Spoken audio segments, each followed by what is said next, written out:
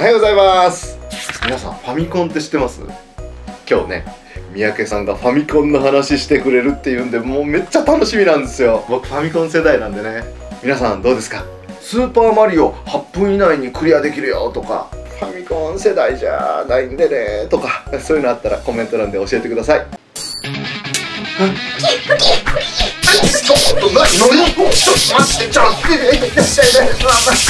お猿の三宅は間違った言葉を聞くとバナナを投げつけます。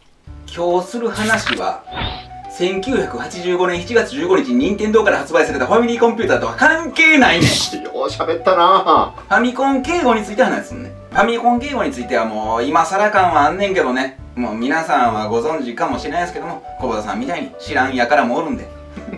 ちょっとお話しときます。ファミコンってゲーム以外わかんないですけど。ファミコン敬語のファミコンはファミレスとコンビニを合わせてファミコンねおおそう。うん。つまりファミレスとかコンビニで使われるマニュアル敬語のことをファミコン敬語というわけや。なるほど。上できてる言葉やね。うん全然関係ないんや。いや関係なくない？よちゃんとくっつけてんねん。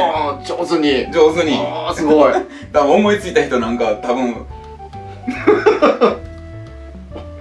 いいいいよ。なっていい。例えばファミレスで料理が運ばれてきて、はい。こちらとんかつセットになります。はいまだなってないの。ってなるわけやおおは例えばそこで店員さんが何も乗ってないお皿を持ってきて置い。て布をかけて321ブワッでとんかつセットが出てくるのであればいはいこちらとんかつセットになります。あおっていうわけやな。その店行きたい。だから店員さんに「こちらとんかつセットになります」って言われたら客としてはいつなんねやろでまたなんかわけやな。なるほどね。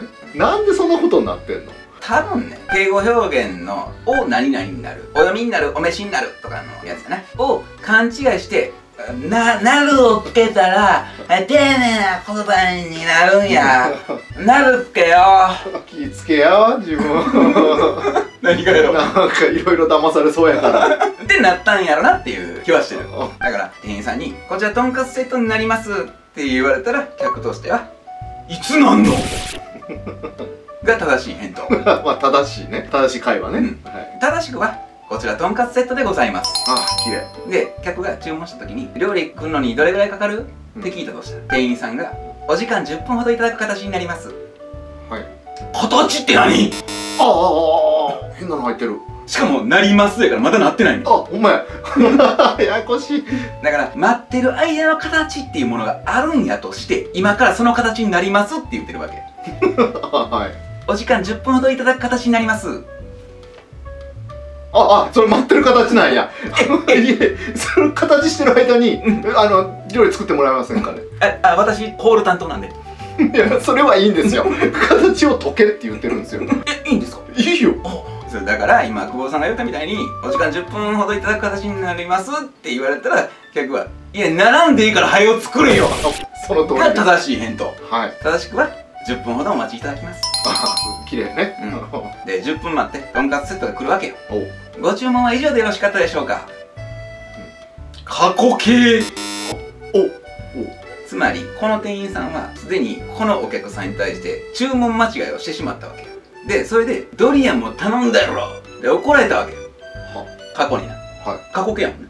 そうですね。でめちゃめちゃ怒られたから、はい。だからタイムマシンに乗って聞けよ。未来からこの時に戻ってもう今度は失敗せんようにせなと。はい。思ってとんかつ定食とドリアを持っていくわけやな。はい。んでご注文は以上でよろしかったでしょうか？前とはちゃんとちゃうことやってますよ。あなたは1回目やと思ってるでしょうけどね。タイムマシン無駄遣いしてるね。だからご注文は以上でよろしかったでしょうかっていうふうに言われたら正しい返答は未来人。そのやりとり聞いたことないけどね。正しくはご注文は以上でお揃いですか？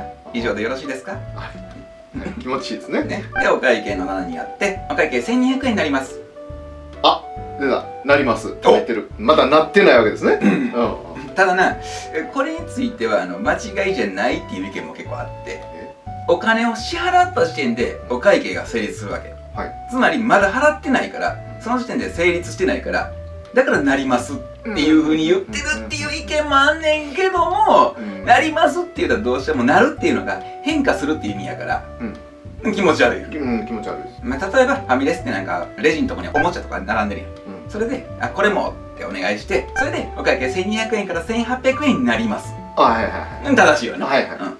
あクーポン券使ってお会計1200円から1100円になります。はい。変化してるからね。はい。正しいわけだからまあお会計1200円になりますは間違ってないっていう意見もあるけどもやっぱ正しくはお会計1200円でございます。ああ気持ちいいですね。でそれに対してお金を1万円支払うわけ、はい。1万円からお預かりします。から。おおからっていうのは何々から何々までっていう意味のスタート時点のからやからつまり1万円からお預かりしますって言われたら何万円まで ?2 万円までにしてやせめて。1万円から2万円までお預かりしますっておかしいけどね。おかしい。おお5万円かもしれん。またか。しかもこの言葉にはもう一つご用があってほう。預かってんのんちゃうやろもらってんねやろっていう意見もあります。あれもらってはないでしょ例えば1万円預かったとして8800円のお返しでございます、って言われたら「えじゃあさっき預かった1万円返してよ。ああなるほど。預かったんやろ。厄介な人やね。だから本来は1万円頂戴いたします。8800円のお返しでございます。